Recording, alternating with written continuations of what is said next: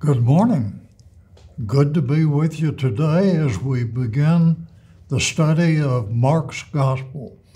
Uh, last week we concluded our study of Jeremiah and Lamentations in the Old Testament. So for the next 13 weeks we will study the Gospel of Mark. And before we do, I think it would be of value and of interest if we look a little bit into who this person, John Mark, is. One of the interesting things about Mark's gospel, as well as the other three gospels, is that the author of the book is not identified. And that's true in Mark's gospel. It is true in uh, Matthew, Luke, and John. Uh, they're not identified. So, but they aren't exactly autonomous because the early church uh, credited John Mark uh, as the author, and that has been uh, the belief uh, throughout the years. But when Mark opens up, he doesn't introduce us to to uh, Jesus. There is no uh, history, no lineage of Jesus. There is no uh, comment as far as his birth narrative is concerned. Uh, Mark just jumps in and uh, begins with uh, a, a study of of John Mark, and I think it'd be a little uh, a bit interesting if we identify who John Mark is. He is a, a cousin of Barnabas. He was one of the first missionaries uh, that uh, began the journey with Paul. It was uh, Barnabas and and uh, and Mark. And as we look at the gospel, the first mention of of John Mark, we have to go somewhere else. And so let's begin by looking at the 12th chapter of, uh, of Acts. And we find the, a well known story of Peter. Uh, he was in prison, uh, people were gathered uh, to pray for him. And suddenly the shackles on him were loosened. Uh, he was wakened. An angel came to, to minister to him. So we pick it up in the 12th chapter of Acts in the 11th verse. Then Peter came to himself and said, Now I know without a doubt that the Lord sent his angel and rescued me from Herod's clutches and from everything the Jewish people were anticipating. When this had dawned on him, he went to the house of Mary, the mother of John, also called Mark, where many people had gathered and were praying. So here is a, a very interesting beginning to Mark's gospel. First, we find that he was the son of, of, of this lady who is very well known, uh, Mary. Not to Mary, the mother of Jesus, but, but Mary. And uh, there are people gathered there praying uh, for Peter's release. So, one thing we know, and that is that if Mary had people praying in her home, that she was a very solid believer. Uh, we assume from that that that Mary was uh, uh, providing guidance for for uh, Mark, and Mark was then in his childhood uh, subject to to teaching and was a believer himself. It's interesting that that Mark's nickname was Stump Finger.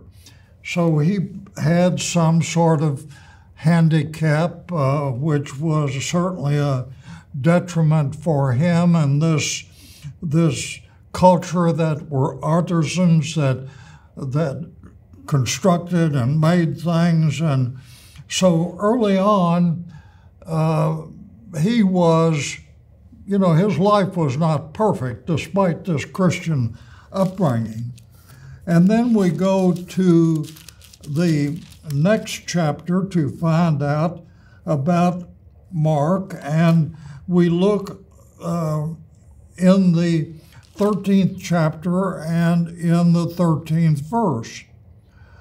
From Paphos, uh, Paul and his companions sailed to Perga and Pamphylia, where John left them to return to Jerusalem.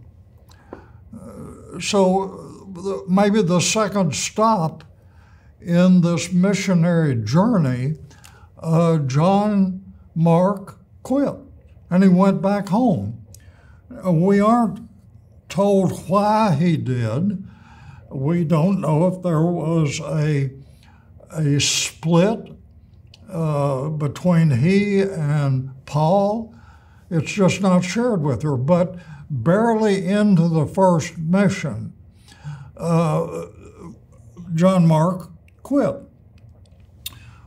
Then, following that, of course, uh, Paul continued his ministry and and Mark did whatever Mark did, but Paul was teaching the Jews, and there was a church conference, and the church conference ruled that the Jews did not have to be circumcised in order to be believers, in order to be followers of Jesus. And so we pick up again then in the 15th chapter of, of Acts and in the 36th verse. Sometime later, it says, Paul said to Barnabas, Let us go back and visit the brothers in all the towns where we preach the word of the Lord and see how they're doing to further minister to them, to share the good news uh, uh, with the Jews that they did not have to be circumcised and, and to give them further uh, training and instruction. Uh, Barnabas wanted to take John Mark, also called Mark, with them, but Paul did not think it wise to take him because he had deserted them in Pamphylia and not had not continued to work with them at that point. So it is apparent that there was some some split, some uh, discomfort, and Paul wouldn't take uh, John Mark on the second mission trip. So there was a split in the team, and Paul took Silas and Barnabas and John Mark went on their mission trip to do uh, whatever they wanted to do. And it was, it was silent then about exactly what Barnabas was doing and what John Mark was doing. But you can clearly see it was a failure uh, on this young John Mark's part, and certainly was uh, devastating, humiliating to him that Paul would not take him on the second missionary journey because he didn't trust him. Well, about 10 years passed, and if we look at the end of, of Mark's uh, and Paul's and Barnabas' mission, if you look in uh, Philemon in the 30 or the 23rd verse, uh, Paul writes, Epaphras, my fellow prisoner in Christ Jesus, sends you greetings, and so Mark, Aristarchus, Demas, and Luke, my fellow workers. So something has transpired here that has brought Mark back into the fold. And then if we look again in Second Timothy, uh, and if we look in the the fourth chapter, and he is writing to Timothy. Again, Timothy is one of the last letters. We're toward the end of, of Paul's uh, mission trip, his ministry. And we see in here in the fourth chapter, in verse 9, and he's writing to Timothy. These all are Paul's letters. He's writing to Timothy. Do your best to come to me quickly for Demas, because he loved this world, has deserted me and has gone to Thessalonica. Crescens has gone to Galatia, and Titus to Dalmatia. Only Luke is with me. So they have all retired or deserted Paul, and the only one with him, the only one left, is Luke. Get Mark, he says. Get Mark and bring him with you because he is helpful to me in my ministry. So here is a tremendous story of redemption of the young John Mark who failed early on in his ministry with Paul, but then continued to do his thing and is now back with uh, Paul and is a tremendous benefit to him. So, now what about the Gospel of Mark? It was written probably in the mid 60s as I said, there's no biblical narrative, there is no lineage history. It just jumps right in in the first verse. But there are several things to to look at here in this gospel. As I said, it was probably written about 30 years after the death of Jesus in the mid 60s. Uh, it begins with the Jews, not with Jesus. But there's a lot of suffering in Mark's gospel. Uh, it is alluded to often. Uh, there is a an urgency, and we we saw that in in uh, the end there, where he said, "Come quickly," and we see this repeated this urgency either in the form of at once or immediately or quickly.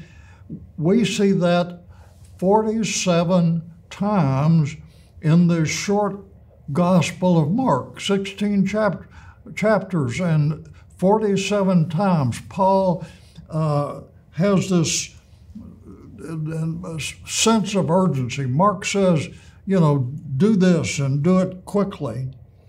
Uh, there is a secrecy. Uh, we see healing and Mark writing, uh, you know, don't say anything to anyone at this time.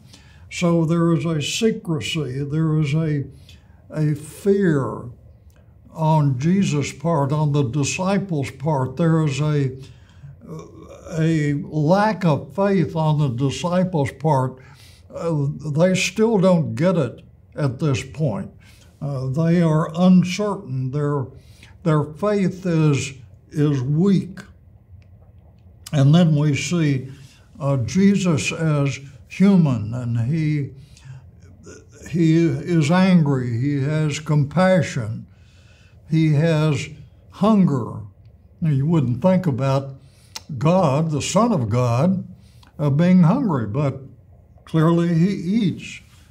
And he's anxious too in the garden where he prays to God uh, Father, is there any other way that we can do this? Is there a plan B? So he's anxious. We see that in Jesus as human, but we also see Jesus as the Son of God. The Savior. So, beginning in verse 1, the beginning of the gospel about Jesus Christ, the Son of God. So he is immediately identified as the Son of God, and that's it. It is written in Isaiah the prophet, I will send my messenger ahead of you who will prepare your way. Well, how is he going to prepare the way? By calling people to repentance. And this is unique in that this is the only time in, in Mark's gospel that Old Testament is referred to. And he quotes both uh, Isaiah 43 and, and Malachi 3:1. It is written in Isaiah the prophet, I will send my messenger ahead of you who will prepare the way when kings traveled, and this area was rocky, it was dry, uh, it was inhabitable. And so when kings were going to travel, they would send someone out to clear off uh, the, the path, the road, by removing stones, by removing broken down carts, by removing obstacles that would would cause the king's way to be difficult and un- uncomfortable. So, preparing the way, smoothing out the road, calling people to repentance.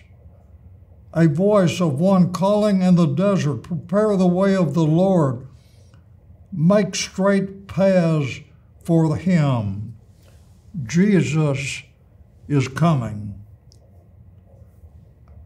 And so John came, baptizing in the desert region, region and preaching a baptism of repentance for forgiveness of sins. The whole Judean countryside and all the people of Jerusalem went out to him confessing their sins, they were baptized by him in the Jordan River. And this is where the Jordan River uh, uh, dumped in to uh, the Dead Sea. So he was out in this desert and he was he was preaching repentance and he was calling people to be baptized and people were coming to hear the word and to to be baptized to for the uh, repentance and forgiveness of sins. And John's clothing was made of camel hair and a lot, and he ate locusts and he had uh, wild honey with that, and there was a leather belt around his waist. And this if you recall the stories of Elijah in Second King, Elijah was dressed this way as well, and and Second King said uh, that there would be someone like Elijah coming, and so John is that individual. He is dressed in camel hair, and he has a leather uh, belt around his waist. And this was his message. After me will come one more powerful than I. The thongs or, uh, or tape, the wrapping of whose sandals I'm not worthy to stoop down and untie. This was a job that sometimes slaves would even would not even do, uh, to untie the strap on a sandal. This was very manual work. And, and John Mark is saying, you know, uh, John is not even going to do that. After me will come one more powerful than I, the thongs of whose sandals I'm not worthy to stoop down untie.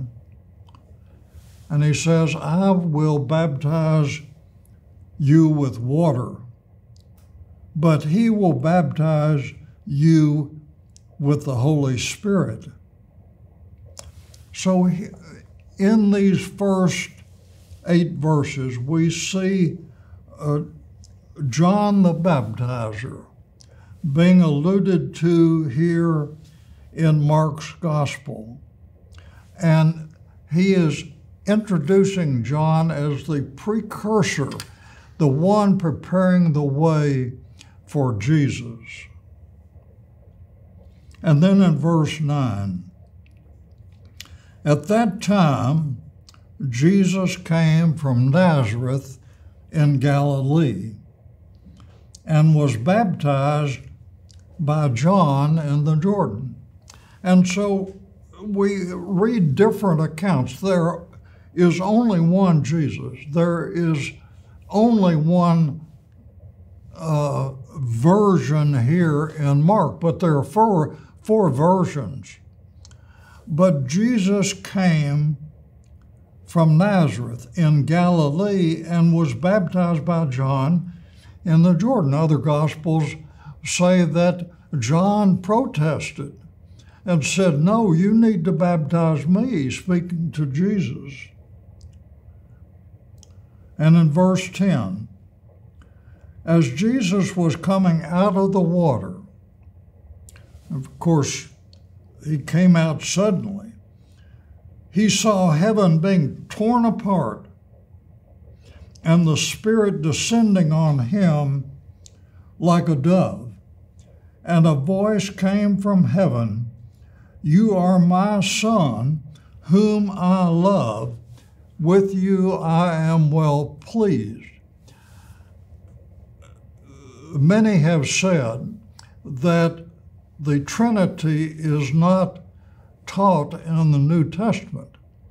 And there, that is true. There is no specific uh, section of Scripture that teaches the Trinity but it is presented in all of the New Testament. And here we see as Jesus coming out of the water, that's one. He saw heaven being torn open and the Spirit descending on him like a dove. That's two. And a voice came from heaven You are my Son, whom I love and am well pleased. Number three, God the Father. So while there is no specific teaching saying this is the Trinity, it is presented as it is here in, John, in Mark's Gospel uh, as the Father, Son, and Holy Spirit. And here we see in verse 12 one of those urgency messages. And as I said, it is used 47 times in this short 16 chapter gospel. At once, the Spirit sent him into the desert, and he was in the desert 40 days, tempted by Satan. he was with wild animals, and angels attended him. And that was it.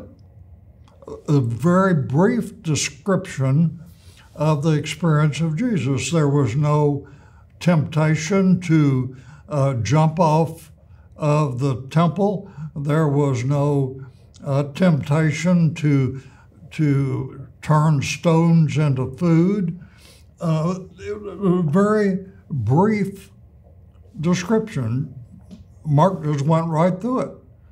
You know, he was baptized, he went to the desert, he was tempted, end of story.